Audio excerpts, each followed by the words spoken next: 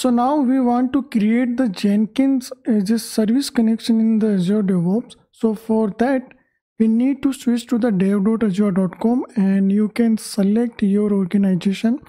Under your organization, you can select your project where you are working.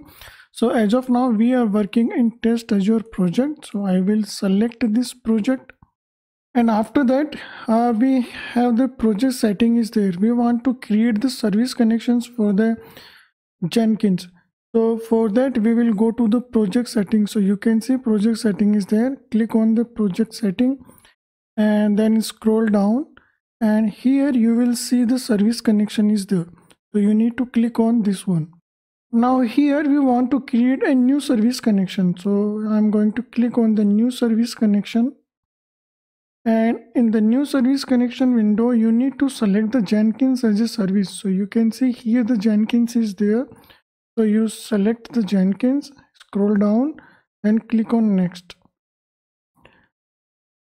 Now here you need to enter the server url so this is the jenkins server url so we have the jenkins server url so this we have launched the jenkins as a server and this Jenkins server is running on the AWS Linux machine. Uh, you need to take this server URL completely with the colon and the port number. So you copy this URL, come here and paste it. Now here, this is the server URL you need to provide completely.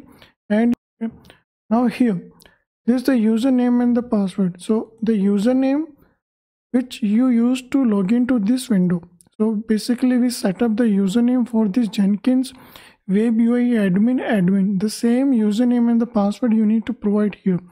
I choose the admin and then I enter the password admin. Then you need to verify.